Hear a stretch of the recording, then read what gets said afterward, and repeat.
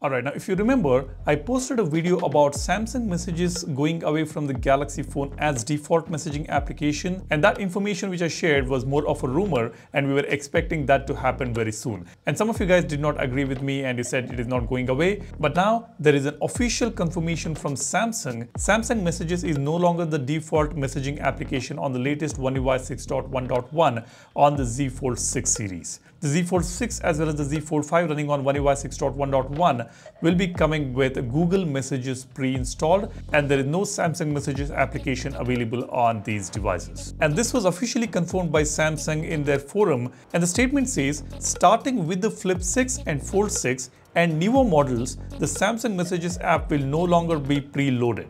Instead, Google Messages will provide a new and enhanced experience to express your emotions, making communication safe and fun. You can also exchange messages with users around the world through Google Messages. Now, this was an official statement by Samsung and uh, this article was available on SamMobile. I recently learned about this and I wanted to share it with you guys. So there is a confirmation now from Samsung that the Google Messages will be the default messaging application and Samsung Messages will not be available as default. And this is starting from the Galaxy Z Fold 6 series and any newer devices we are going to get, they will be shipped with Google Messages as default messages. Now this has happened in the US. Most of the other regions have got the Google Messages as well as the Samsung Messages on the phone. I got the Z Fold 6 here and I have got both the messaging application in India. Uh, you guys let me know which country are you residing currently and whether the Samsung messaging application is available or not on the Z Fold 6 and the Flip 6. All the other older phones will have uh, both the messaging applications. We can switch between Samsung Messages and Google Messages. We have both the choices.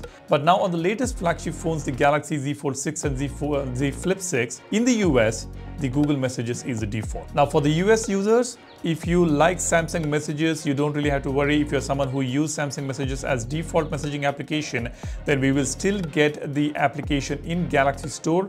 You will be able to download and install it and use Samsung Messages separately instead of using Google Messages. So that's an option. Even in the other regions, uh, whenever uh, the Samsung messages is removed from the phone, you will be able to download it from Galaxy Store and use Samsung messaging application. That is something to note here. Now we've got both pros and cons having uh, Google Messages and losing the Samsung messaging application. There are some features which are currently available on the Samsung messaging application which cannot be uh, enjoyed on the Google messaging app and it's vice versa. Now Google Messages does offer RCS which is rich communication services where we will be able to communicate with the other person uh, through the internet instead of the cellular network. We will be able to share the media in large sizes. We've got text reactions features through emojis. And we also have the typing indicator when the other person is typing, you will get to see, you will get an indication when the other person is typing. So there are some cool features on Google Messages. However, uh, there are some features which are on Samsung Messages, such as the integration between Samsung messaging application and some of the features on Samsung Galaxy phones,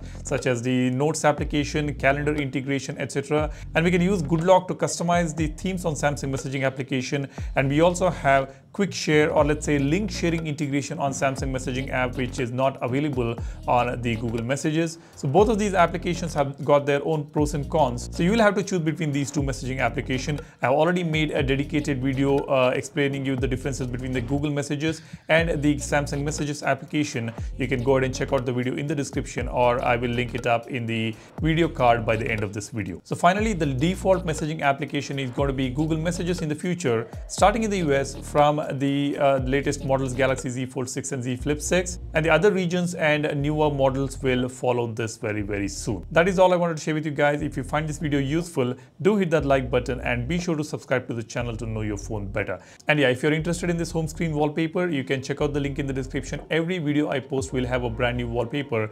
Go ahead and download the wallpaper if you like it. Thanks for watching. My name is Salian signing off. Cheers. Bye-bye.